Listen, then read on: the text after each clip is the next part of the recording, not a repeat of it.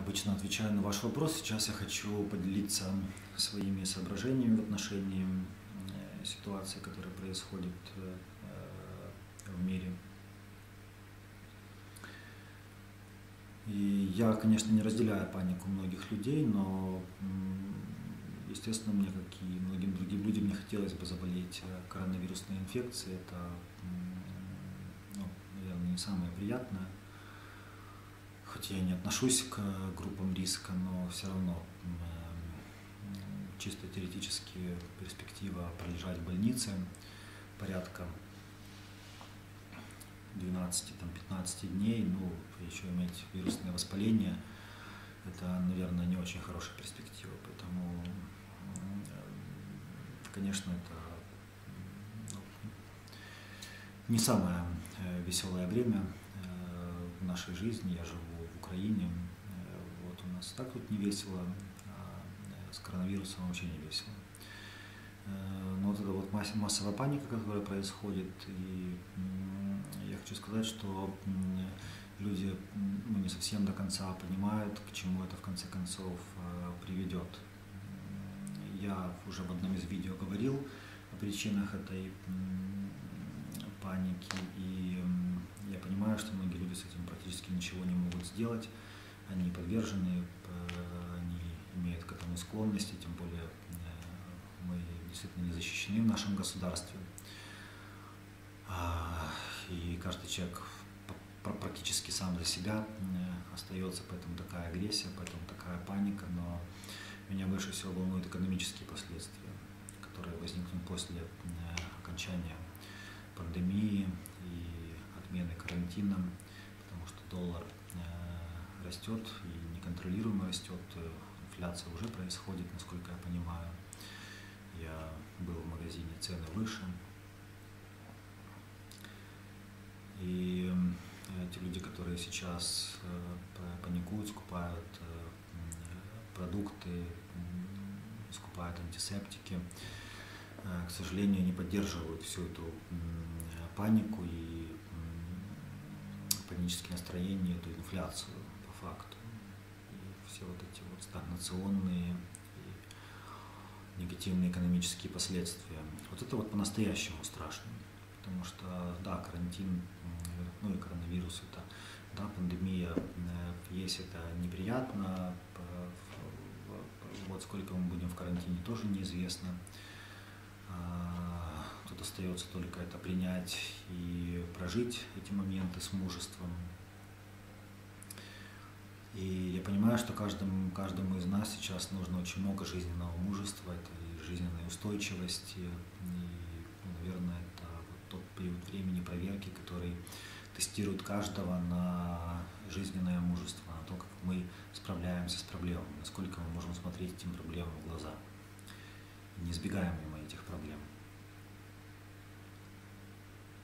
И не поддаемся ли мы каким-то эмоциональным решениям, когда пытаемся справляться с этими проблемами. Я понимаю, что перед каждым из нас э, стоят такие вызовы, и жизненное мужество – это, наверное, то важное, что э, нам стоит иметь э, в этой ситуации. Уметь трезво, рационально, обдуманно – принимать решения и смотреть э, этим сложным задачам в глаза и воспринимать проблемы не как безвыходную ситуацию, не как опасность, а как возможность, как задачу, которая требует решения, которая может нас вывести на новый уровень. Потому что часть людей воспринимают проблему, ну, в ту же, ту же коронавирусную, пандемию как э, ну, глубочайшая опасность, которая нанесет им неуправимый вред и урон. Да, это может быть так, но и в то же время это задача, которая требует решения. И от того, насколько мы эффективно решим эту задачу, зависит наше будущее. Я, честно говоря, думаю, что в принципе отношение э, людей к проблемам как к задачам это есть очень важное ментальное изменение в психологии человека. Воспринимать проблему не как патовую ситуацию, я опасность, а как возможность. С пониманием того, что любая задача имеет пути решения. Главное их найти. А для того, чтобы их найти, нужно трезво мыслить и уметь, знаете, остановить свои, поток своих переживаний и вовлечься в реальную деятельность, которая поможет в решении проблем.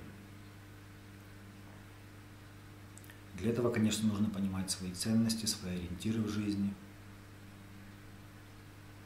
Для этого нужно развивать свои навыки решения проблем, то есть не избегать жизненных сложных задач. Понимать, что каждая сложная задача делает нас лучше, дает нам новые возможности. И на этом пути, конечно, нам помогают и наши близкие, и люди, которые нас окружают. Конечно же, это все помогает нам на пути решения задач и дает нам, добавляет этого жизненного мужества. Я хочу сделать акцент, что э, мужество никогда, знаете, ну, неделимо, наверное, с мудростью. Потому что безрассудное мужество, так называемое в кавычках, это не мужество, это именно как броситься грудью на амбразуру. А мудрость – это способность видеть глубокий смысл и причинно-следственные связи в нашей жизни. Но для того, чтобы это увидеть, необходимо регулярно проходить по циклу обучения который невозможен снова-таки без мужества. Есть планирование, есть деятельное соответствие с планом, есть результат, который мы получаем.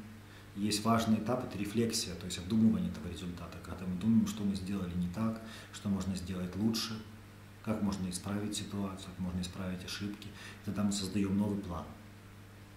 И мы по-другому начинаем действовать. Эти люди, которые упускают этап рефлексии или которые избегают деятельности, естественно, они завершают этот положительный цикл, цикл обучения. На пути этого мужества, естественно, важна забота о себе. То есть доброжелательное отношение к самому себе. Это очень важная часть. Если мы будем игнорировать свои потребности, то, знаете, становятся бессмысленными вот эти вот решения э, этих задач, потому что человек действует по каким-то там чужим стандартам, чужим планам, чужим ориентирам, возможно, даже в ущерб в себе, возможно, не удовлетворяя свои потребности. И, конечно, тогда, знаете, любая задача для него становится очень непосильной, сложной и катастрофически страшной. Я думаю, что э, также важным э, является э, иметь, ну, ценности я сказал, но также иметь цели и действовать в этой жизни. Это очень важно, не избегать этой деятельности. Я хочу это подчеркнуть. Потому что наша жизнь состоит из деятельности, из планирования деятельности, то есть тот цикл, который я только что описал.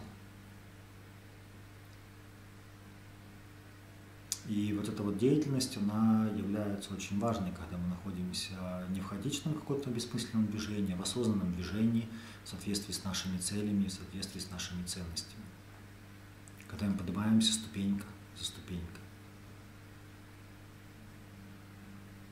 Ну и, естественно, на этом пути важна, важна доброжелательность не только к себе и забота о себе, но и доброжелательность к другим людям. Тогда мы можем надеяться на их поддержку, и мы можем поддерживать их, и тогда мы находимся в гармонии. У нас есть баланс между нашими потребностями и потребностями окружающих людей.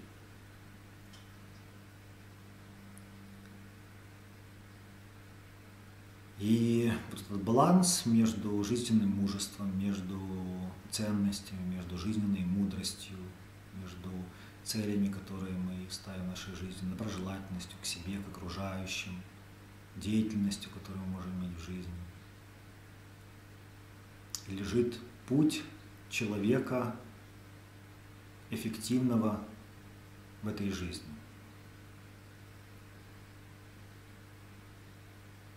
И сейчас э, вокруг мы видим много людей, ну, не очень эффективных, к сожалению,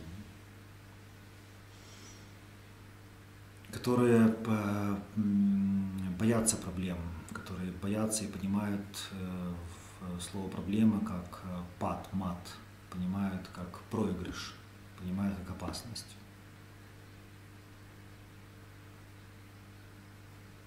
которые не чувствуют себя счастливыми, которые, ослепленные своими эмоциями, принимают неверные решения.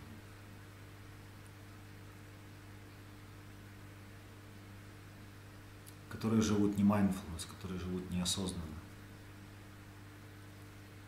Я призываю всех к тому, что, ну, наверное, тот путь, который я писал до этого, мы можем учиться этому пути. Это навык, который мы можем формировать. Если вам сложно это делать, то вы можете обратиться к специалистам для формирования этих навыков.